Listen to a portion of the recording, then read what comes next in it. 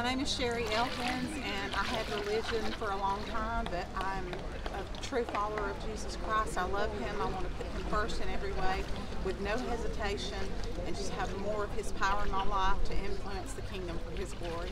I love Him. Sure, watch your first step and your second.